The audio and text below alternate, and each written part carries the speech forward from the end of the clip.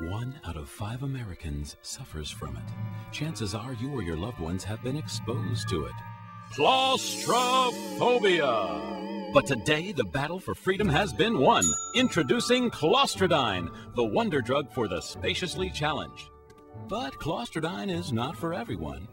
A very small percentage of males may experience some minor hair loss, while just under 90% of subjects tested experience severe hair loss.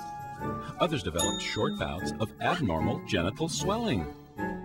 Ooh, additional side effects may include halitosis and or uh, uncontrolled flatulence. In drastic cases, test subjects have suffered up to level 8 hallucination.